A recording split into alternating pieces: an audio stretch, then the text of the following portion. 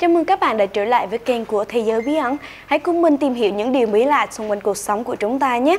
Bí ẩn cầu trục view từ video bắt ma giáo, người đàn ông bị mời lên làm việc. Những ngày gần đây trên mạng xã hội liên tục chia sẻ hình ảnh nhóm người mặc đồ đen xì giống nhau liên tục xuất hiện ở các địa phương như Hà Nam, Thái Nguyên, Hà Nội để xin ăn khiến nhiều người xôn xao. Dù chưa biết nhóm người này có thật sự đi ăn xin hay có ý đồ gì khác, tuy nhiên nhìn tạo hình có phần kỳ dị khiến nhiều người dân vô cùng bất an. Trong khi dư luận chưa hết xôn xao trước sự xuất hiện của nhóm ăn mày bồi mặt đen kỳ dị này, thì gần đây mạng xã hội lan truyền hai clip hướng râu giải mã thành công nhóm người ăn mày mặt đen bí ẩn, thu hút hàng triệu lượt xem. Vậy thực hư câu chuyện là như thế nào? Hãy cùng chúng mình tìm hiểu nhé! Đừng quên like, share và subscribe và nhấn vào biểu tượng chuông thông báo để đạt được những thông tin bí ẩn nhất từ chúng mình. Xin chào!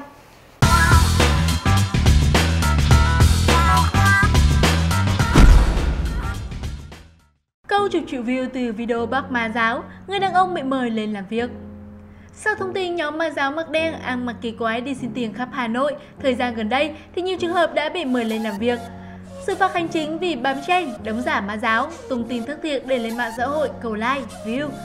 Đặc biệt là gần đây vào ngày 6 và ngày 8 tháng 12 thì kênh Hưởng Râu Official đăng tải hai video giải mã thành công nhóm người ăn xin mặc đen bí ẩn đã cầu được hơn 13 triệu view trên YouTube và nhận được nhiều lời khen ngợi, tung hô Hưởng Râu như anh hùng vì đem lại bình yên cho bà con. Nhóm người ăn mày mặc đen bí ẩn hơn một tuần qua thì mạng xã hội xôn xao trước những hình ảnh về người đàn ông ăn xin với dáng vẻ quái dị, đi ủng, mặc quần đen và đội mũ bảo hiểm, bôi đèn mặc, tay cầm đầu gà và xúc xích cầm khay đi ăn xin với một thái độ hung hăng, thách thức tại nhiều địa điểm ở Hà Nội, cùng với một số tình tình khác khiến cho nhiều người dân cho tiền hoặc là sợ hãi đuổi đi. Một số thông tin cho rằng thì người này đã vấy nước bẩn, thậm chí là nhổ nước bọt vào người giúp đỡ mình khiến ai nấy cũng đều bức xúc. Sự việc đã thu hút được sự quan tâm chú ý của dư luận. Qua đó, người dân mong muốn cơ quan chức năng sớm vào cuộc xác minh, làm rõ danh tính của nhóm người bí ẩn này. Theo phản ánh của cộng đồng mạng thì những người này ăn mặc giống hệt nhau, trên tay cầm đầu gà và xúc xích và còn có những hành động rất khiếm nhã với chủ nhà như là nhổ nước bọt hay là vì gì đó vào cho chủ nhà. Một người dùng Facebook tỏ ra lo lắng, Ăn xin thật hay không thì mình chưa biết, nhưng nhóm này chia nhau ra hoạt động khắp nơi cùng một lúc, gây một sự sợ hãi cho trẻ nhỏ. Chiêu trò của họ là bôi đen hết mặt, mồm thì ngậm hai quả gì đó cho tều mồm ra để khó nhận riêng. Tay họ thì cầm cái cổ gà và mấy xiên thịt gì đó, lao thẳng vào nhà người ta xin tiền. Nhà nào chỉ có phụ nữ với trẻ con ở nhà, hoặc bà già thì xác định luôn. Xin tiền mà không cho họ là họ sẵn sàng lao vào đánh người ngay lập tức. Mọi người cẩn thận, ở nhà thì cũng phải khóa cổng chốt cài. Tết đến nơi rồi, bọn họ làm liều lắm. Tài khoản Facebook Via cũng cho biết, tại cửa hàng của chị ở Thủy Đương thuộc Thủy Nguyên, Hải Phòng, người buôn mặt đen tay cầm đầu gà cũng từng vào cửa hàng chị để xin tiền cách đây ít ngày. Theo tài khoản này thì họ dường như không có ý định xin tiền, mắt thì ngang dọc nhìn xung quanh quầy hàng như tìm kiếm thứ gì đó, vì biết nhà chỉ có hai mẹ con. Tướng mạo thì lại rất đáng sợ, họ buôn mặt đen xì, ngậm cái gì đó trong mồm, có cầm theo cả hai cái đầu gà. Và cái gì đó thì cứ giấu giấu, mình thì còn sợ hãi và bảo họ đi ra, nhưng họ không những không ra mà còn lấy ghế ngồi chấn đường đi ra ngoài của hai mẹ con mình. Mình nói sẽ báo công an, nhưng tên này lại không sợ. Vẫn chừng chừng mắt nhìn và ngăn không cho mình ra gọi hàng xóm xung quanh. Thậm chí cái vật họ cầm đập nhẹ vào người mình. Rất may lúc đó có chị gái mình đến, có xua đuổi nhưng họ vẫn không bỏ đi mà có ý định chống trả. Khi mà mấy anh hàng xóm sang, nó vẫn không sợ. Còn định để cửa vào nhà, đạp đổ xe mà không cho mình khóa cửa luôn. Do thấy mọi người đông nên nó mới nhìn và đi thẳng ra ngã tư của núi đeo Hải Phòng. Thực sự đáng sợ luôn. Theo công an thì nhóm ăn mày mặc đen chỉ xin tiền, không trộm cắp hay là đánh người nên không thể bắt họ được. Người dân thì cần phải cảnh giác trước nhóm người này. Được biết thì lực lượng chức năng của các địa phương vẫn đang tiếp tục kiểm chứng, làm rõ hành tung của nhóm người dị hợm này. Sống ảo, nhái ăn mày mặc đen trong khi thực giả còn chưa rõ, thì mạng xã hội lại xuất hiện những hình ảnh người mặc đồ đen phiên bản nhái. Như thanh niên bôi mặc đen mặc quần áo đen nhưng chân lại đi giày hiệu hoặc là đôi dép nhựa, không cầm đầu gà mà cầm chú gà bông hoặc là cả con gà trống để pha trò gây chú ý. Họ sẵn sàng hóa trang thành những người đàn ông mặc đen bị trói, bị đánh chảy cả máu mặt rồi chụp ảnh đăng lên mạng để gây chấn động. Nhưng quan sát kỹ sẽ thấy được bức ảnh đã được dàn dựng khá là vụng về. Thậm chí trên mạng xã hội còn lan truyền một đoạn chat được cho là của một chủ quán đang yêu cầu nhân viên thuê người đóng giả kèm mặc đồ đen vào quán dĩ như thật rồi up lên Facebook để tăng lượt tương tác.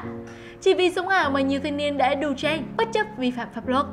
Vào ngày 6 tháng 12 năm 2019 thì Trần Văn Công, ngụ tại thị trấn Phú Thiện, huyện Phú Thiện, tỉnh Gia Lai, đã hóa trang mặc đồ đen, bôi mặc đen và miệng ngậm hai quả táo mèo. Trên tay thì cầm dĩa có cây lạp xưởng và một quả chanh, chụp ảnh đăng lên mạng xã hội. Khi mà bị công an thị Khi mà bị công an thị trấn Phú Thiện, huyện Phú Thiện mời lên làm việc thì công khai hóa trang rồi chụp ảnh đăng lên mạng xã hội cho vui. Tại xã Hồng Lạc, huyện Thanh Hà của tỉnh Hải Dương thì công an huyện Thanh Hà cũng đã bắt giữ và xử phạt Đặng Như Chiếng, 19 tuổi trú ở xã Hồng Lạc, huyện Thanh Hà vì tội cố tình xúi dục nam thanh niên tên Xuân, 17 tuổi ở xã Hồng Lạc, đóng giả người mặc đồ đen đứng trước cổng trường mầm non của Hồng Lạc rồi chụp ảnh tung lên mạng để cầu like. Nam ca sĩ Chi Dân cũng vừa nhận được nhiều gạch đá vì hóa trang nhân vật mặc đồ đen gõ cửa các phòng khách sạn. Trước phản ứng của cộng đồng mạng, cùng ngày hôm đó thì Chi Dân đã lên tiếng giải thích rằng đó chỉ là hành động múa vui. Dù nam ca sĩ đã xin lỗi và khóa trang Facebook cá nhân, nhưng cộng đồng mạng vẫn bày tỏ sự phẫn nộ khi mà anh là người của công chúng mà lại vô ý thức. Nữ diễn viên Mizu cũng đã nhận phải phản ứng tương tự khi mà trên mạng xã hội xuất hiện hình ảnh được cho là cô đã hóa thân thành nhân vật cầm đầu ga. Hưởng râu là ai? Cách đây một tháng thì trên mạng xã hội nổi lên một clip hiệp sĩ tốt bụng chuyên giúp đỡ mọi người khó khăn bắt trộm cướp ở khu vực Hà Nội. Anh được mọi người gọi là anh Hưởng Râu. Với cái clip bắt trộm cướp cực tuyệt vời của mình thì anh đã được mọi người hưởng ứng cực kỳ đông đảo. Anh có một kênh YouTube dù mới chỉ tạo lập được một tháng và đã đạt được nút bạc của YouTube. Học theo việc làm của Thắng Cái Chép, anh Hưởng Râu tập hợp những anh em thân thiết cùng làm việc nghĩa giúp cho mọi người không lấy tiền. Điều đặc biệt là anh Hưởng Râu là một trong những người đàn ông đã có tuổi, tuy vóc dáng không to cao nhưng có thể nói là chắc khỏe. Chính vì sự già dặn ở cái tuổi tứ tuần, vì vậy mà nội dung của anh làm rất được lòng người xem. Những clip không có tính bạo lực cao, không hề có sự hành xử giang hồ. Clip anh Hưởng Râu giải mã thành công nhóm người ăn xin mặc đen bí ẩn. Theo nội dung video đăng tải vào ngày 6 tháng 12, thì Hưởng Râu đã đi cùng với bốn thanh niên đến xã Tảng Lĩnh, huyện Ba Vì của Hà Nội để tìm ma giáo mặc đen và truy tìm lai lịch, làm rõ mục đích của phái giáo này. Khi mà phát hiện một ma giáo mặc đen cầm đầu ga, đĩa, có lá bùa và đi vào một tiệm cắt tóc tại đường Yên Thành, xã Tăng Lĩnh để xin tiền, thì nhóm Hưởng Râu đã xông vào quán tóm gọn. Lúc này thì Hưởng Râu hỏi, ở đâu? Sao ăn mặc kiểu này? Đi ăn xin à? Hay làm gì? Nhưng người ăn mặc đen không trả lời dù bị nhóm Hưởng Râu đe dọa. Khi mà người này nhất quyết không trả lời thì nhóm Hưởng Râu đã đưa người này lên ô tô. Sau khi mà đưa người mặc đen lên ô tô thì nhóm Hưởng Râu tiếp tục đe dọa thì người này mới nhả hai quả quất ngậm trong miệng ra và thú thật do ham chơi, cờ bạc thua độ nên đi xin ăn. Tuy nhiên khi mà xin bình thường thì người dân không cho nên đã nghĩ ra chiêu trò này để người dân sợ và cho tiền. Bên cạnh đó thì ma giáo mặc đen cũng thừa nhận mình 38 tuổi, trú tại tỉnh Hòa Bình và trong nhóm có tổng cộng 7 người. Đến nay sau 4 ngày đăng tải thì clip đã thu về hơn 9 triệu view. Sau thành công của video phần 1 thì ngày 8 tháng 12 Hưởng Râu lại tiếp tục đăng tải video phần 2 với cùng tựa đề. Trong video này thì nhóm Hưởng Râu lên núi truy tìm nơi ẩn nấp của nhóm ma giáo mặt đen và phát hiện ra bốn người đang ẩn náu tại một ngôi nhà hoang. Sau 4 ngày đăng tải clip đã thu về hơn 5 triệu view. Tại đây thì nhóm của Hường Râu đã đe dọa lên giọng chính nghĩa đòi xóa sổ nhóm ma giáo mặc đèn này. Theo kênh của Hường Râu thì mục đích làm video này là để giải mã những thắc mắc trong lòng của bà con nhân dân, để bà con yên tâm, không còn lo sợ, hoang mang và bận tâm về nhóm người này nữa. Họ cũng chỉ là người đi ăn xin bình thường, không hề có dấu hiệu bù bả hay là gì đó như là các trang thông tin đã đăng, vậy nên bà con hãy yên tâm nhé. Toàn bộ hai video của Hường Râu đăng tải đều là dàn dựng, mục đích cầu view. Liên quan đến sự việc này thì chiều ngày 10 tháng 12, trao đổi với phóng viên thì ông Bạch Quang Nho, trưởng công an của xã Ba Trại, huyện Ba Vi đã cho biết toàn bộ hai video mà Hưởng Râu đăng tải đều là dàn dựng, mục đích cầu view. Tuần trước công an huyện Ba Vi, công an đồn Tảng Viên đã về tận xã Ba Trại để mời Hưởng Râu đến làm việc rõ.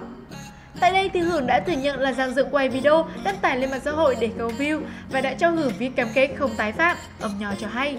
Theo ông Nho, thì Hưởng Râu thực chất là một người hiền lành, không như vẻ bề ngoài. Hưởng Râu tên thật là Đinh Trọng Hưởng, 42 tuổi, trú tại thôn 9, xã Ba Trại, Bà Vi, đã có vợ con và sinh sống bằng nghề bán hàng ăn. Ở một diễn biến khác thì trả lời phỏng vấn trước đó, một lãnh đạo công an quận Hà Đông của Hà Nội đã cho biết, sau khi mà người dân ghi nhận sự xuất hiện của ma giáo mọt đèn trên địa bàn này, công an quận Hà Đông đã tổ chức truy tìm để làm rõ sự việc cũng như là lai lịch để tránh hoang mang cho người dân. Tuy nhiên đã nhiều ngày nay, đơn vị không phát hiện ma giáo mọt đen lộng hành tại địa bàn. Trong khi một cộng đồng mạng lại đang hoang mang lo lắng và cơ quan công an thì đang truy tìm tung tích của người đàn ông mặc đồ đen, mặc bùa đen, tay cầm đầu ga, xúc xích, bụng ngầm vật gì đó, cùng với một cái thìa trên tay đi lang thang khắp nơi ăn xin, thì mạng xã hội lại xuất hiện những hình ảnh người ăn mặc đồ đen phiên bản nhái. Những ai đang có ý định cosplay lại nhân vật bí ẩn này thì hãy bỏ ngay ý định đó đi nhé. Và mong muốn lực lượng công an sớm điều tra và làm rõ để người dân được an tâm. Hãy nói cho thế giới bí ẩn biết bạn đã bắt gặp nhóm người mặc đồ đen này ở ngoài đời thực hay chưa, hay tất cả chỉ là trên mạng xã hội. Hãy chia sẻ với chúng tôi bằng cách để lại comment ở phía bên dưới nhé. Và đừng quên nhấn like, share cũng như subscribe để có thể đón xem những video mới nhất mỗi khi mà kênh ra. Còn bây giờ thì xin chào và hẹn gặp lại các bạn trong những video tiếp theo.